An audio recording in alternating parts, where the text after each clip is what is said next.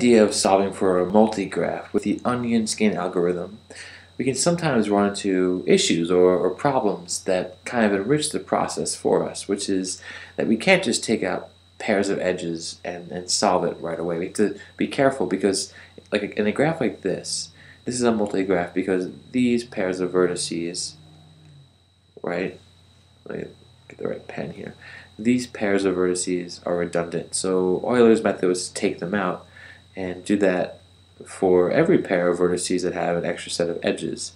But as I pull these edges away, you might start to see what happens. Right? I pull out all the extra sets. It's quite a few. Quite a few here. Okay.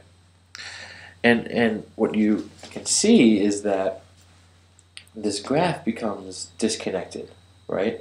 We can't actually connect the graph. So so this little graph line here is no longer connected to this graph right here. And this chunk of this graph is not connected to, to sorry, this, this graph right here, this, this portion. We follow that. It's completely disconnected from all of this. So how do we deal, or how could we deal with that? Do we give up hope? What do we do? Well, let's start by just looking at the degrees of the, of the vertices throughout the graph. And what I see is that they're all even, right? These are all 2, 2, and these are all 2. So it tells me I can find circuits quite easily. So let's do that. Let's find the circuits in these in these chunks of graph. First I find this one. I complete that circuit. Okay. And then in this circuit I can do the same thing. Let me use a different color though, in case I need that in discussion. Okay.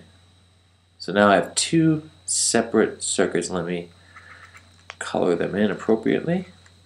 The red and this, this peach circuit. And I think you might see that this still is a way of finding the solution. And then let's use green here. So in this green circuit, you just connect the dots pretty much and form a closed circuit. Okay. So now Euler's idea was that, oh, well, when you have this you, you, can solve and then add in the edges that you left out before. So can we still do that even though the red, peach, and green circuits are completely disconnected? And the answer is yes, we can. So all we have to do now is travel along each individual circuit and as soon as we run into a set of edges that we left out before, we can travel them. So just like just like Euler, uh, Euler's uh, method sorry, just like Euler actually said in the first place. So let's say we start here, and I want to run along the red circuit. Well, oops, I forgot to include these edges. So now what I can do is travel along this edge to hit this vertex, complete, right, complete the peach circuit, just like this. I missed, my aim's a little bit off there, sorry right? Complete that peach circuit, and the yellow will represent the area of travel, and then travel back along the edge we took out. And now you can continue on the red circuit, and when you hit this vertex, just travel along these edges and back, there and back again. And then keep going on the red circuit, hit this vertex, go there and back again.